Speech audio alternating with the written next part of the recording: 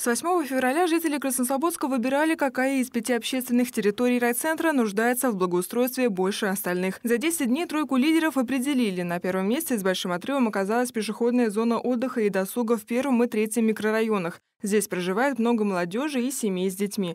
Теперь эта территория будет участвовать во всероссийском конкурсе лучших проектов формирования комфортной городской среды. Хочу отметить, что в рамках данного голосования участие было очень активным много э, репостов было, много просмотров, более 7 тысяч просмотров данной странички.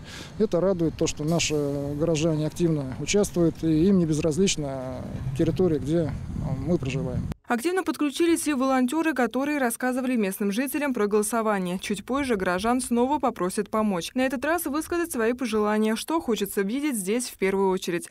Участвует Краснослободский в республиканском конкурсе лучших проектов формирования комфортной городской среды. Какую территорию благоустроят в ее рамках, еще не решили. Пока есть три лидера. Наибольшим предпочтением у граждан это э, сквер в третьем микрорайоне, на третьем месте. Э, далее э, пешеходная зона в границах улицы Коммунистическая, Советская площадь Река Мокши, а, а также территория – это площадь э, на улице Интернациональной. Один из лидеров территория в границе улиц Коммунистической и Советской сейчас больше напоминает заснеженное поле, однако у нее большой потенциал. Здесь может разместиться пространство для комфортного отдыха и занятий спортом, а чуть ниже, где протекает Мокша, есть место для чистого и благоустроенного пляжа. Изменения будут доступны, если местные жители также активно проголосуют за эту территорию во время рейтингового голосования. Оно стартует с 26 апреля.